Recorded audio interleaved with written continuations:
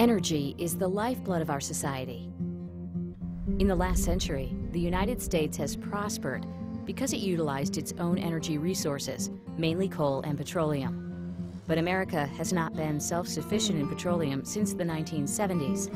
In 2007, gas prices soared over $4 per gallon, when oil was over $140 per barrel. Prices are lower now, but increases seem inevitable as developing countries like India and China become more industrialized. As worldwide demand continues to grow, America remains one of the largest consumers of energy. We are only about 3% of the world's population, but we use about 25% of, uh, of the energy in the world, and it's escalating. We don't have a better alternative to power our military. We don't have a better alternative to uh, uh, fuel our automobiles at this point.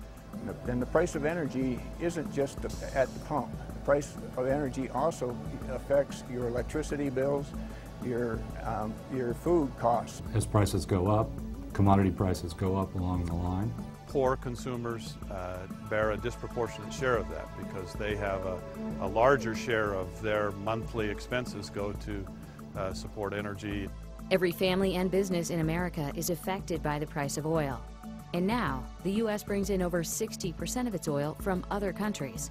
Some of them are friendly, countries like Canada, um, some I think from Brazil, but a lot of them are not necessarily friendly to us. The wealth that was provided by our forefathers, we're sending it overseas in order to buy oil because we don't want to get dirt under our fingernails and produce our own fuels here in the United States.